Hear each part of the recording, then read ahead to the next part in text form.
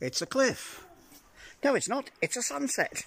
And I've been watching this sunset on the Gower Peninsula over the last hour or so as the changing aspect of the light. Because uh, as the sun drops below the horizon, the colour spectrum changes really vivid and very uh, dramatic. You can see the changing aspect of the light just in this camera now. It's trying to do a colour and a light balance all the time.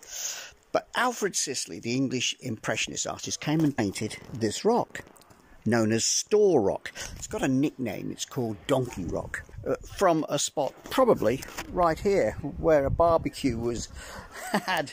Just uh, yeah you can see where the barbecue's been. And I thought I'll have a go at it. So I brought with me my bag of paints.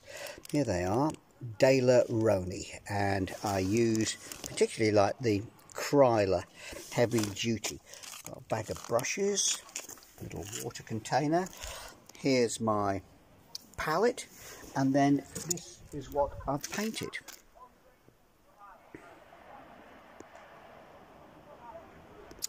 Sunset on Store Rock on Gower Peninsula by Mumbles. That's my impressionist painting of a beautiful evening in gorgeous South Wales.